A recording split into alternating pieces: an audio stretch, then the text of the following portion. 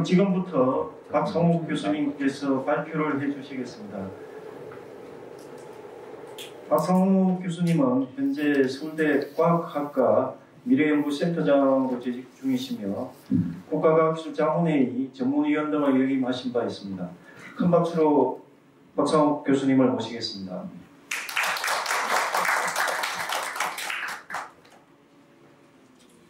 네, 안녕하십니까. 서울대 과학학과에서 과학기술정책 전공하고 있는 박상욱입니다. 어, 이렇게 역사와 전통을 자랑하는 우리나라 최고의 과학기술 혁신정책 포럼의 기스텝 수요 포럼에 연사로 불러주셔서 어, 대단한 영광입니다.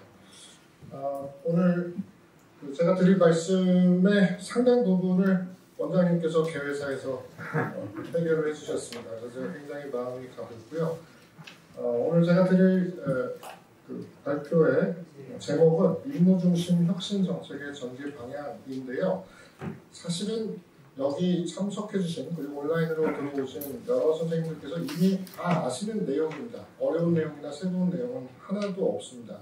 그래서 고민이 좀 됐습니다. 이 주제를 받고 어, 떤 얘기를 해야 아, 그래도 발제 시간을 좀 알차게 썼다는 얘기를 들을 수 있을까 고민을 했는데 어, 한국형 임무중심 혁신 정책이라는 게 없다고 하는 것을 알았습니다. 첫째로는 그래서 앞으로 새 정부에서 임무제한 혁신 정책을 펼쳐나갈 때 어떤 부분을 신경을 쓰고 어떤 부분은 부담을 안 가져도 되는지 그 부분을 제안하고자 노력을 했고요.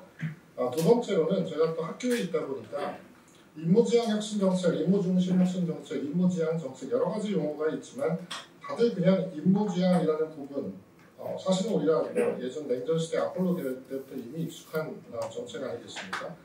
그 단어만 딱 듣고 아 임무 중심으로 하는 거지 뭐. 약간 어, 그렇게 어떻게 보면 피상적으로 어떻게 보면은 어, 조금 어, 뭐랄까 가볍게 에, 다가가는 면이 있는 것 같고 최근에 에, 동향이.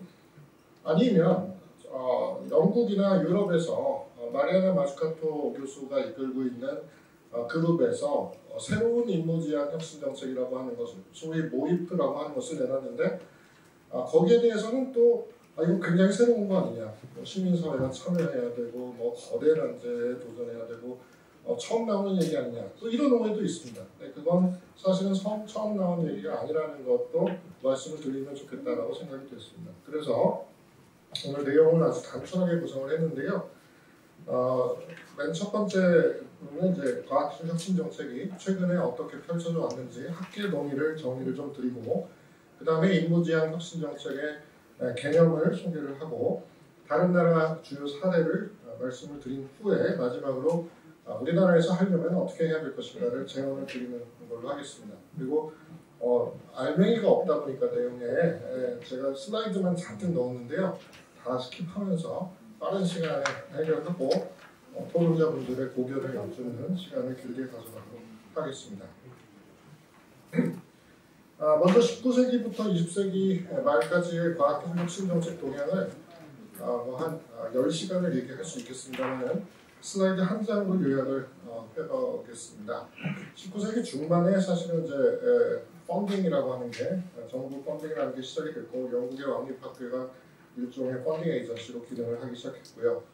1939년에 J.D. 버널이라는 과학자 겸 과학사회학자가 Social Function of Science라는 책을 썼는데 이게 훗날 크리스토퍼 프리만 교수 등 어, 과학 정책의 효시가 되는 분들에게 많은 영향을 어, 주게 됩니다. 1945년 바네바 부시의 Science, the Endless Frontier 리포트가 나온 뒤 현대적인 과학기술 연구 지원 체계가 미국으로부터 수립이 됐고요.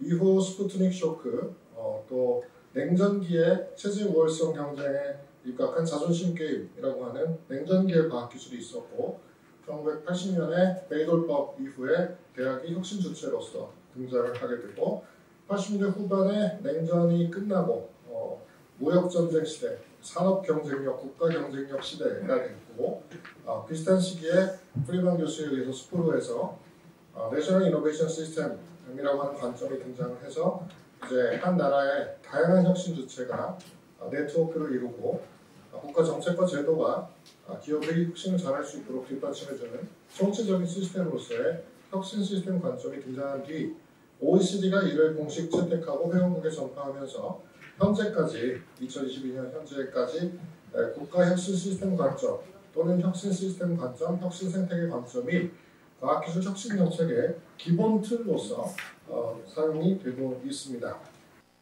여기까지가 이제 20세기 말까지 얘기입니다. 아, 혁신 정책이라고 하는 말이 과학기술 정책을 대신하여 쓰이게 된 지는 그렇게 오래되지는 않았습니다만 혁신 정책은 사실은 과학 정책과 기술 정책, 혁신 정책을 모두 아우르는 말입니다. 그래서 저희는 STI policy, 과학기술 혁신 정책이라고 부르는데요. 아, 그걸 줄여서 얘기할 때는 혁신 정책이라고 하는 것입니다. 그래서 아, 룬트발 교수의 구분에 따르면 혁신 정책은 과학 정책과 기술 정책을 포함하는 것이고 어, 굉장히 넓은 범위의 정책임을 알 수가 있습니다. 이 혁신 정책은 어, 제이콥 애들러나 얀 파거버거 같은 어, 지금 현 시대의 대가급 연구자들에 의해서 다시 한번 재정의되고 또 일종의 캠페인 작업이 이루어지고 있는데요. 이들에 따르면 혁신 정책은 이제 거의 포괄적이고 통합적인 사회 경제 정책에 해당한다라고 말씀드릴 수가 있겠습니다. 그래서 여러 가지 다양한 정책 수단을 사용하는 어, 또 여러 영역에 걸친 어, 정책의 세트, 정책 혼합이 바로 정책 혁신 정책의 특징이 되겠습니다. 그래서 임무지향 혁신 정책이라고 하면 혁신 정책의 일종 아니겠습니까? 그렇다면 혁신 정책이 아, 그 용어가 어떻게 나온 건지부터 말씀을 어, 드렸습니다. 아, 또 시민 참여론이라는 게 있는데 사실 이 시민 참여론은 일반적인 행정학에서 거버넌스 이론 얘기할 때도 많이 나오는 얘기입니다. 그런데 사실 과학기술 혁신 정책에 영향을 준 것은 행정학보다는 STS 과학기술학이라고 하는 학문 분파가 더 큰 영향을 줬습니다. 그래서 시민 참여를 통한 어, 지식의 공동 생산 또 경영학에서 얘기하는 기술 혁신의 경영학에서 얘기하는 어, 개방형 혁신이라고 하는 것이 결국 혁신 주체가 연구자들뿐 아니라 이제 누구나 혁신의 주체가 될 수 있고 참여자가 될 수 있다. 사용자, 어, 시민 등 다양한 사람들이 참여해서 연구를 같이 하고 또 연구 사업 기획도 같이 해야 된다라고 하는 그런 개념이 되겠습니다. 이 사중 나선 어, 모형은 최근에 에, Triple Helix 삼중 나선 모형을 대신해서 많이 언급되고 있는 모형입니다. 어, 그리고 지속 가능성 논의, 친환경성 논의가 이제 유럽에서 90년대 크게 촉발이 되는데 네덜란드 학자들이 어, 아리에 립 학파인데요. 어, 전이라고 하는 transition이라고 하는 개념을 심각하게 연구를 했습니다. 아, 그래서 사실 그 multi-level perspective 다층위적 관점보다 먼저 나온 게 이 strategic niche management라고 하는 것이 먼저 등장을 하는데 98년도에 처음 등장합니다. 르네 캠프라고 하는 학자가 아, 제창을 하는데요. 지금으로 얘기하자면 이게 임무지향 혁신 정책의 에, 어, 뭐랄까요 어, 원조급이라고 제가 말씀드릴 수가 있겠습니다.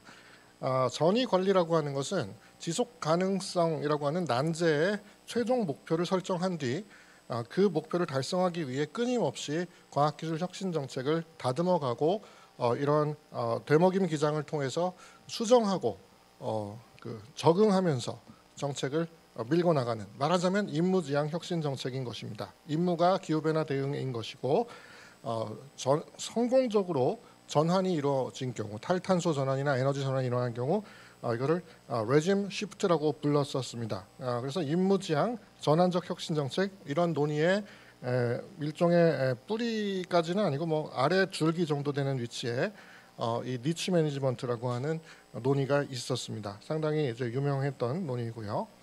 어, 2004년 5년 걸쳐서 이제 프랭크 길스라고 하는 어, SPRU의 학자에 의해서 어, 사회 기술 시스템, socio-technical system theory 또는 최근에는 그 너무 이름이 거창하다고 해서 어, 단순히 multi-level perspective MLP라고 하는 관점이 등장했고 당시에 innovation system 논의 이후에 어떤 큰 어, 이론적 틀을 요구했던 혁신 정책 학계에서 열광하면서 어, 굉장히 히트를 치게 됐습니다. 이 다층위적 관점은 어떤 큰 전환을 위해서 1, 2, 3층이 나눠져 있는데 3층은 landscape, global landscape로서 예를 들어 기후 변화 같은 컨디션이고요. 아, 맨 아래 단이 기술적인 niche로서 어, 친환경 기술이나 신재생 에너지 기술들이 아직은 mainstream에 올라가지 못하고 여러 가지가 시도가 되고 또 사회 기술 실험, socio-technical experiment가 시도가 되면서 경쟁을 하다가 시간이 지남에 따라서 어 약간 수렴이 되면서 성장해서 결국 어, mainstream으로 즉 socio-technical regime과 만나게 되는 기존의 regime들과 만나게 되는 어, mainstream으로 상승하게 되고 이때 에, 그런 mainstream에 있던 regime들이 어, 이제 올라온 성장한 niche 기술과 상호작용하게 되면서 regime도 바뀌게 되고 어, 그리고 이 신기술도 자리를 잡게 됨으로써 어, 전환에 도달하게 된다. 그리고 이렇게 전환에 도달하게 되면은 어, 그러면 예를 들어 기후 변화 같은 landscape도 영향을 받을 거 아니, 아니겠느냐. 예를 들어 기후 변화가 아, 좀 덜 일어난다든지 예, 하는 일이 생기게 되겠죠. 이 MLP가 아주 큰 히트를 치게 되고 보시는 바와 같이 앞장에 보여드린 어, transition하고 관점이 같습니다. 같은 네덜란드 학파에서 만든 것이고요. 어, 이게 또 영국의 SPRU로 건너가서 어, 르네 캠프랑 프랭크 길스가 모두 SPRU의 교수를 하면서 어, 이, 어, 이 관점들을 널리 전파하게 됩니다. 그 이후에는 어, 마리아나 마주카토라고 하는 지금 아주 유명해진 어, 교수가 어, 또 당시에 에, 스프로에 재직을 하면서 어, 기업과 국가라는 책을 써서 세계적인 베스트셀러가 되고 혁신 학계에도 큰 영향을 미칩니다. 근데 이 책은 왜 기업가 국가라는 말을 썼느냐면 기업가라는 것은 결국에는 아, 리스크 테이킹을 하는 사람입니다. 굉장히 적극적으로 무언가를 창도하면서 리스크 테이킹을 하면서 밀고 나가는 게 기업가인데 에, 과거의 기업가라고 하면은 이제 뭐 기업가적인 정치인, 기업가형 국가 이런 데에는 말이 쓰인 적이 있는 아 대학, 기업가형 대학에 말이 쓰인 적이 있지만 기업가형 국가로는 이제 처음 어, 마주카토가 언급을 했는데 국가의 적극적인 개입을 의미를 합니다. 그래서 어, 신기술이 처음 등장하면 리스크가 크니까 기업들이 섣불리 나서기 어려운데 국가가 그 리스크 테이킹을 해서 미래지향적인 어, 지금 당장은 돈이 될 것 같지 않은 기술들도 어, 국가가 개입해서 개발해 줘야 된다라고 하는 그러한 논리로서 어떤 의미로서는 어, 자유주의적이고 시장에 맡겨놔야 한다라는 그런 풍토에 반기를 든 상당히 국가의 적극적인 역할을 과학기술 혁신에 있어서 강조하는 어, 그러한 어, 접근이 되겠습니다. 이 그림이 아주 유명해진 그림이죠. 아이폰이 알고 보면 다 국가 프로젝트에서 나온 거였다. 그래서 애플에다가 세금을 더 세게 매기든지 공기업화해야 된다 이런 과격한 주장을 담고 있는 책이 되겠습니다. 바로 이 기업가 국가론에서 결국에는 어, 정부의 임무, 국가의 임무라고 하는 힌트가 여기서 등장을 하게 됩니다.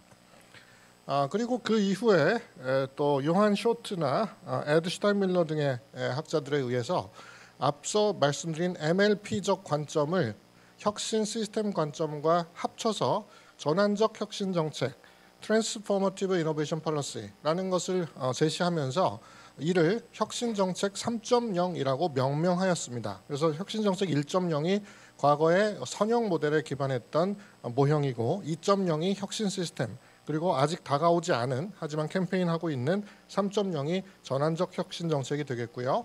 3.0 아, 정책의 핵심은 목표 자체가 경제 성장이 아닌 지속 가능한 개발이며 어, 그 정책의 에, 믹스는 혁신 정책의 믹스로서 통합적이고 포괄적인 정책 믹스를 가져야 하고 여러 영역에 걸친 정책이 나와야 하며 정책 과정에서는 어, 시민이나 사용자까지 참여해야 한다는 것이 혁신 정책 3.0의 특징이 되겠습니다.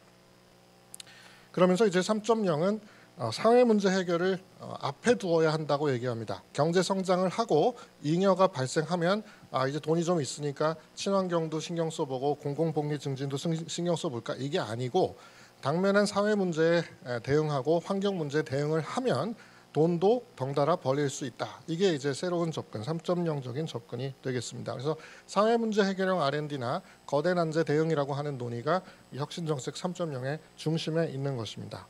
그리고 유엔이 발표한 아, 지속 가능한 개발 목표 SDG라는 것이 등장을 하고 이 SDG에 대응하여 과학기술 혁신의 역할이 있어야 한다는 논의도 역시 함께 만나게 되겠습니다. 자 이렇게 장황하게 지난 20여 년간의 과학기술 혁신 정책의 여러 논의들을 말씀을 드렸는데요.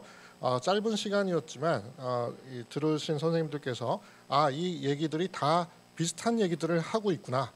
아, 이게 모아지는구나라는 느낌을 받으셨으면 어, 좋겠습니다. 과거의 혁신 시스템 관점이 여전히 살아 있습니다만 혁신 정책이라고 하는 것으로 이제 또 귀결이 됐고 이게 전환적 혁신 정책으로 어, 그 멀티레벨 퍼스펙티와 전위 이론 어, 이런 것과 합쳐져서 전환적 혁신 정책이 되었고 아주 오래전부터 있었던 60년대부터 있었던 임무지향 정책이라고 하는 전통이 2000년대 들어서 21세기 들어서 과학기술 혁신에 있어서의 국가의 좀 더 적극적인 역할을 강조하는 마주카토의 기업과 국가론하고 만나게 되어서 새로운 임무지향 혁신 정책이 등장을 했으며 전환적 혁신 정책과 어, 새로운 임무지향 혁신 정책은 크게 다르지 않고 어, 물론 제 의견입니다만 여기는 어, 혁신 정책 3.0의 일종의 실천 방안으로서 어, 새로운 모이프라고 하는 것이 등장을 했습니다. 또한 어, 이 혁신 정책 3.0과 새로운 모이프에 큰 영향을 준 것은 아, STS적인 전통입니다. 과학기술의 민주화, 시민 참여, 또 사회적인 역할을 해야 된다는 부분, 사회 문제 대응해야 된다는 부분, 이런 부분들은 STS의 오랜 주장이었습니다. 그래서 어, 최근의 에, 혁신 정책은 규범적인 경향이 매우 강하다, 아, 노마티브하다 이렇게 평가할 수 있어서 과거에 객관적인 사회과학으로서의 경제학에 기반을 두었던 과학기술 혁신 정책 연구와는 사뭇 다른 어, 규범적인 무언가 가치를 적극적으로 어, 개입시켜서 밀고 나가는 그야말로 무언가를 달성해내는 근데 이 가치가 과거의 가치인 예를 들어 냉전 시대의 체제 우위라던가 어, 경제 성장이 아닌 사회적 가치 전 인류적인 어, 선한 가치가 된다는 점이 다른 점이 되겠습니다. 이게 바로 새로운 임무지향 혁신 정책이라고 하는 것의 맥락이 되겠고 다시 말씀드리지만 아, 새로운 모이프 마츠카토가 주장하고 현재 영국과 어, 유럽에서 실천되고 있는 새로운 모이프는 전혀 새로운 얘기가 아니고 최근에 과학기술 혁신 정책의 여러 논의들이 종합되어 어, 등장한 것이다 이렇게 말씀을 드릴 수 있겠습니다.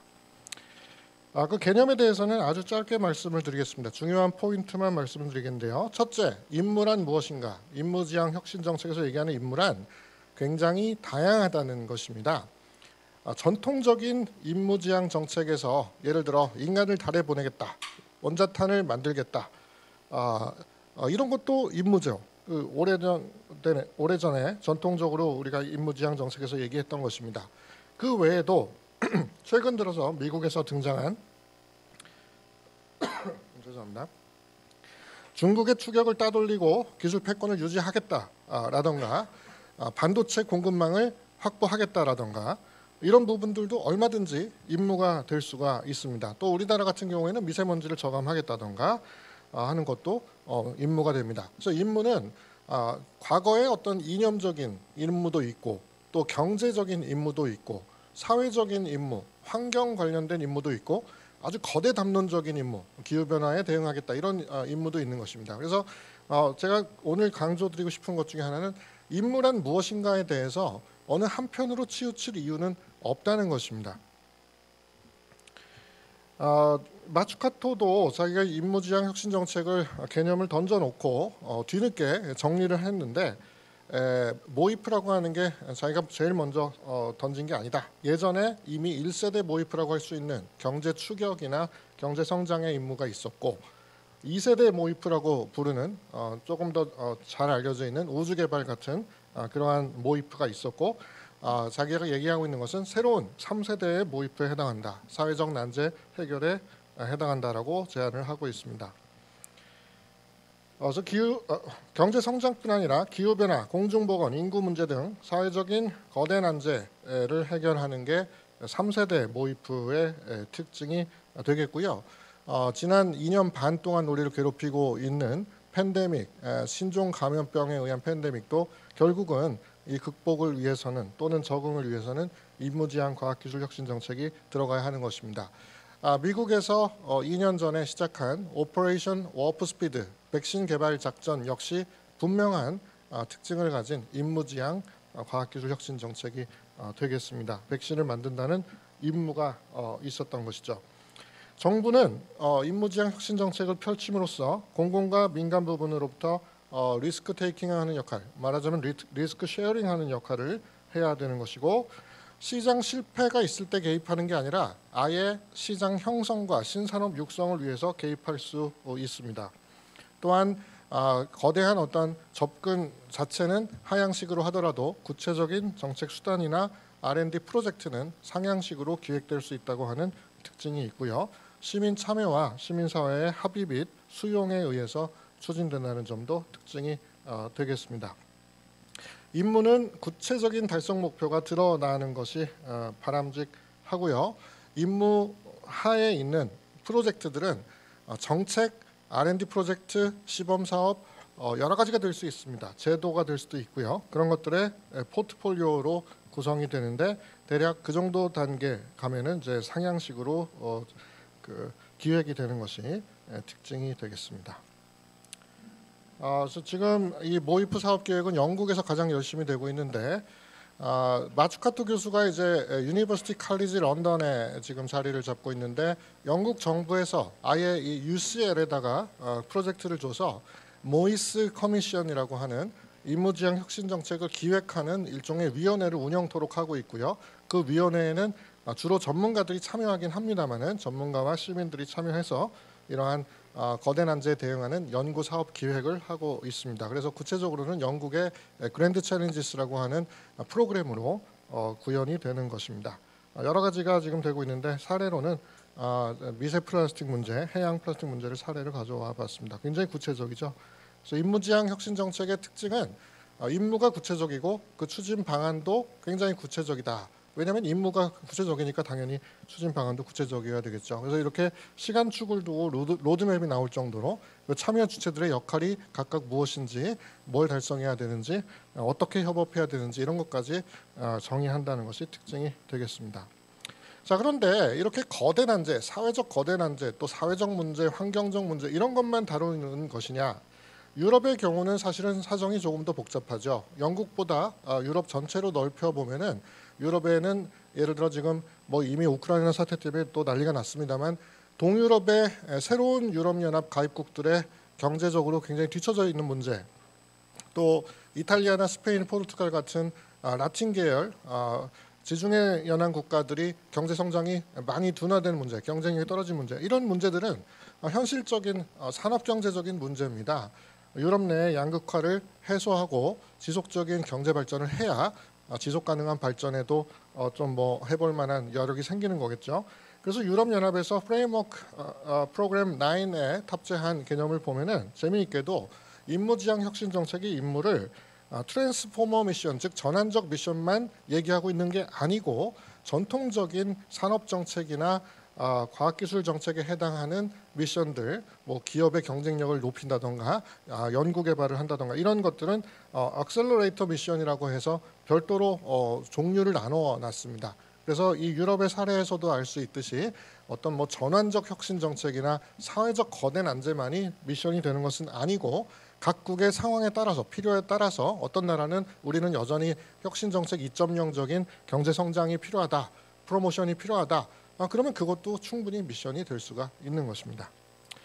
국제 동향은 아주 빠르게 넘어가도록 하겠습니다. 미국의 경우는 어, 이 모이프 전통이 강한데 다만 어, 방금 말씀드린 영국식의 새로운 모이프 전통은 아직은 없고요. 어, 예전부터 전통적인 모이프에 있어서는 아주 강한 임무 지향성을 가지고 있습니다. 그러니까 혁신 정책 2.0스러운 또는 1.0스러운 미션에 대해서는 아주 강한 전통이 있다는 걸 말씀드릴 수가 있겠고요.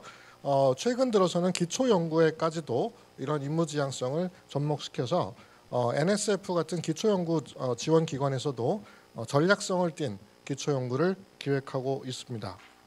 그리고 무엇보다도 어, 작년에 이제 아직도 이제 그 어, 국회에 계류돼 있긴 합니다만은 어, 중국과의 경쟁에서 기술 패권을 유지하고 격차를 확대하는 것을 거대 난제로 인식을 하면서 혁신법이 나오게 되죠.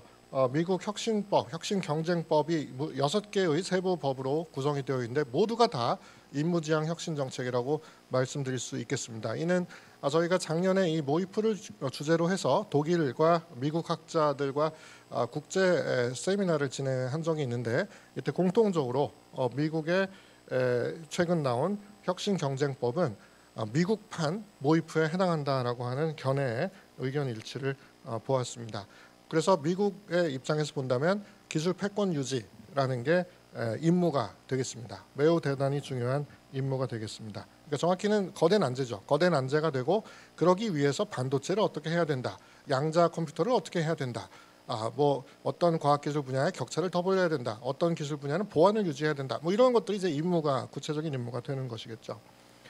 독일의 경우는 어, 약간 유럽식입니다. 다소 유럽식의 에, 난제들을 설정을 해서 High-Tech Strategy 2025라고 하는 것을 발표를 했는데 오래됐습니다. 발표한 지는 산업 정책하고 어, 사회 난제를 연결해 놓은 것이 특징이라고 말씀드릴 수가 있겠고요. 어, 그 독일이 강조하는 어, Industry 4.0 소위 4차 산업혁명이라는 것과 사회 문제 해결을 연결해 놓았다는 게 특징입니다. 영국은 앞서 말씀드린 대로 어, 그 새로운 MOIP 중심으로 어, Grand Challenges 프로그램이 펼쳐지고 있고요. 일본은 두 가지 버전이 있는데 Moonshot이 있고 Moonshot은 아, 약간 NSF의 10 Ideas하고 비슷한 약간 미래지향적인 과학 정책의 그런 느낌이 있고 신산업 구조 비전이라고 하는 것은 또 독일의 또 어, 어, High-Tech Strategy하고 닮아 있는 면이 있습니다. 그래서 일본 같은 경우는 우리가 가까운 나라다 보니까 지리적으로 아, 또그 산업 구조나 과학기술 혁신 시스템 구조가 비슷해서 많이 벤치마킹을 하는데요. 어, 일본은 미국, 영국, 독일이 다 뒤섞여 있는 것 같은 저희의 분석 결과에 따르면 그러한 어, 그 임무지향 정책을 펼쳐나가고 있는 것을 알 수가 있습니다. 그래서 전략적인 기초 연구도 하고 와해성 혁신을 지향하는 어떤 도전적인 R&D도 하고 사회적 지속 가능성도 동시에 지향하는 아, 그런 구조를 가지고 있고요. 일본의 4차 산업혁명이라고 할 수 있는 어, 거기에 또 어, 사회혁신 5.0이라고 하는 부분에 있었는데 그런 부분들을 보면은 산업뿐 아니라 사회 문제도 상당히 고려하고 있는 것을 알 수가 있습니다. 아마 제 생각엔 한국은 일본하고 비슷한 임무지향 혁신 정책을 펼치게 되지 않을까 저는 생각하고 있습니다. 그래서 그 내용에 대해서 마지막으로 말씀을 어, 드리겠는데요. 일단 정책 환경은 어, 뭐다 공감하시는 부분입니다. 아, 미국하고 중국은 기술 패권 경쟁을 합니다. 그런데 우리나라는 패권 국가가 아닙니다. 패권을 추구해서도 안 되고 패권을 추구할 만한 위치도 아니죠. 그렇다면 한국이나 독일과 같이 패권 국가는 아니지만 상당히 기술적으로 산업적으로 어, 힘이 있고 성숙한 국가는 어떤 어, 그 과제가 주어졌느냐 바로 기술 주권론이라는 것이죠.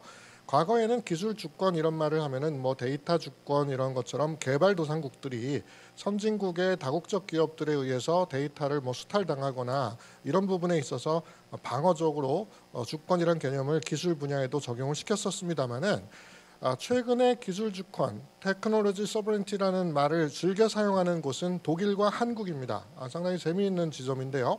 독일과 한국은 모두 어, 중국과 미국 사이에 껴있다는 공통점이 있습니다. 경제적으로는 어, 중국이 최대 수출국이고요. 독일도 최대 수출국이 수출 대상국이 중국입니다. 우리나라도 최대 수출 교역 대상국이 중국이고요. 안보적으로는 미국과 탄탄한 동맹 관계에 있다는 점이 특징입니다. 그렇다면 이때 미국이 예를 들어서 중국하고 모든 기술적인 관계를 끊어라라고 하면 거기에서 뭐 안 따를 수는 없습니다. 따르지 않을 수가 없는 게 그게 뭐 미국이 힘이 세서 따르지 않을 수, 아, 그수 없다는 게 아니라 미국 기술을 쓰지 마라. 미국 기술이 넘어가지 못하게 하라라는 건 미국의 기술 주권 상황이기 때문에 우리가 존중할 수밖에 없습니다. 우리가 미국 기술을 사용하고 있으니까요. 그래서 미국이 중국에 미국 기술을 넘기지 마라 또는 적용한 제품을 팔지 마라 그러면 안 따를 방도가 없죠.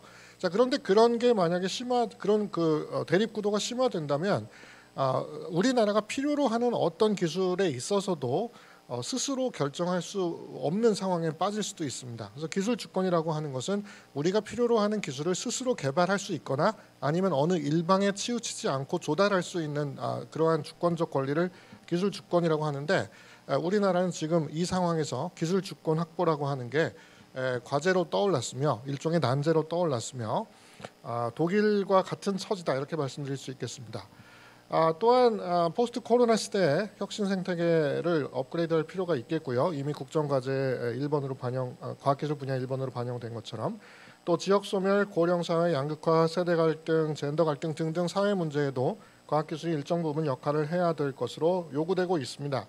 또 무엇보다도 어, 전환이 양대 전환이 동시에 닥쳐오고 있죠. 탄소 중립을 위한 탈탄소 전환, 어, 소위 에너지 전환, 또 디지털 전환이라고 하는 두 가지 양대 전환이 시작이 됐고 이미 지난 정부에서 어, 그린 뉴딜과 디지털 뉴딜이라는 두 가지 큰 프로그램으로 시작이 되었습니다. 그런데 이 어, 양대 뉴딜 정책에 대해서 OECD에서 파견된 어, 전문가들은 innovation policy 2.0적으로 펼치고 있는 게 아니냐라는 문제 제기를 비공식적으로 했었습니다.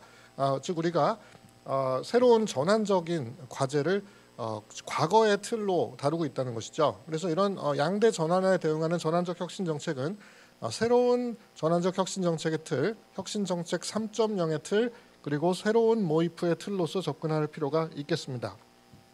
결국 우리의 정책 환경은 대단히 복잡한 환경입니다. 기술 주권도 확보해야 되고 과학기술 격차도 유지해야 되고 산업 경쟁력도 어, 계속 가져가야 되고 혁신 생태계도 업그레이드 해야 되고 공중보건이나 사회 문제에도 대응해야 되고 전환에도 대응해야 됩니다. 아, 과학기술에 대해서 이렇게까지 많은 요구가 있었던 적은 어, 한 번도 없었던 것 같습니다. 아, 그래서 굉장히 바빠지는 그런 상황이 되겠습니다. 거버넌스 부분에 있어서도 어, 과거에 관 주도로 어, 성공을 했습니다만 이제는 민간의 역량이 관을 능가하기 때문에 민관 파트너십이 필요하며 어, 새, 정, 새 정부에서도 민관 어, 위원회를 설치해서 적극적으로 어, 협치를 하겠다라는 그러한 의지를 밝힌 바가 어, 있습니다. 자 그렇다면 한국판 임무지향 혁신 정책은 어떻게 펼쳐 나가야 할까요? 이 부분부터는 순전히 제 주장이 되겠습니다. 아, 제가 드리고 싶은 말씀은 임무라고 하는 것을 너무 거창하게 잡을 필요가 없다. 모든 것을 임무화하면 됩니다. 그래서 우리는 복합형 임무지향 혁신 정책을 펼치게 될 것으로 예상이 아, 됩니다. 전통적인 임무, 어, 발사체를 만든다던가 전투기를 만든다던가 어, 뭐 백신을 만든다던가 이런 것들은 전통적인 임무입니다. 아, 그런가 하면 아, 미국식의 기술 주권을 확보한다. 이것도 어, 임무가 될 수 있는 것이고 어, 유럽식의 거대 난제에 대응한다, 기후 변화에 대응한다. 아, 이런 것도 이제 우리의 주어진 난제 그리고 임무가 되는 것이고 한국형 우리가 그동안 풀어왔던 어, 우리가 그동안 다루었던 여러 문제들 아, 정부 주도로 해왔던 많은 아, 그 과제들 산업에 대한 과제, 과학기술 R&D에 대한 과제 이런 것들도 어, 앞으로는 임무지향으로 할 수 있다는 것입니다. 추진 방식의 경우는 아, 한국 사회의 특징이 안타깝지만 시민 사회가 아직 과학기술 혁신 정책에까지 관심이 있으시지는 않습니다. 따라서 무조건 어, 유럽식으로 해서 유럽은 시민들이 같이 하니까 이러면서 어, 시민들과 함께하는 어, 상향식 기획을 강조하기보다는 일단은 그 여러 부처의 또 여러 영역의 정책 영역에서의 협업 체계 마련이 급선무다라고 제안을 드리고 싶습니다. 이 협업 체계를 통해서 상향식 정책 수단 아, 제안이 이루어지는 것을 제안을 드립니다. 최근의 경험이 바로 소부장 아, 사태 극복의 경험입니다. 몇 년 전 일본이 일방적으로 어, 그 수출 규제를 어, 발효를 했고 여기 이제 이게 난제로 떨어진 거죠. 이 공급망을 어떻게 확보하느냐, 어떻게 이 에, 소재 부품들을 국산화해서 어, 대응할 수 있느냐, 어떻게 공급망을 다변화할 수 있느냐. 난제가 떨어졌는데 어, 여러 부처가 똘똘 뭉쳐서 과기정통부, 산업부, 외교부 똘똘 뭉쳐서 결국에 어느 정도 해결을 해냈습니다. 이게 바로 문제가 떨어졌을 때 임무지향으로 어, 정책을 펼치고 여러 정책을 한꺼번에 펼치고 부처 간 협업 체계로 극복을 해본 사례가 되겠습니다. 이런 식으로 일을 하면 되는 것입니다. 그래서 어, 모이프라고 하는 것은 거창한 게 아니고 일하는 방식의 변화가 어, 되겠습니다. 기술주권 얘기는 이제 말씀으로 드렸기 때문에 어, 넘어가는데요. 단 한 마디만 추가하면 기술 주권이라고 해서 모든 기술을 자급자족해야 된다던가 어, 어, 기술을 보완에 힘써야 된다던가 이런 노, 이런 식으로 해석되는 것은 어, 매우 어, 경계해야 아, 되겠습니다. 전략 기술을 설정해서 전략 기술을 확보하는 것도 어, 기술 주권 어, 확보와 비슷합니다. 지금 여러 기관에서 유망 기술, 전략 기술 이런 걸 선정하는 작업이 있기는 있습니다만 어떤 포커스가 있는 것으로 보이지는 않아서 어, 최신의 전략 기술 개념을 어, 그좀 아, 벤치마킹해서 전략 기술을 확보해 나가야 될 것 같습니다. 전략 기술은 여러 가지 스펙트럼이 있는데 에, 산업 경제적으로 유망할 것으로 보이는 신흥 기술도 있을 것이고요.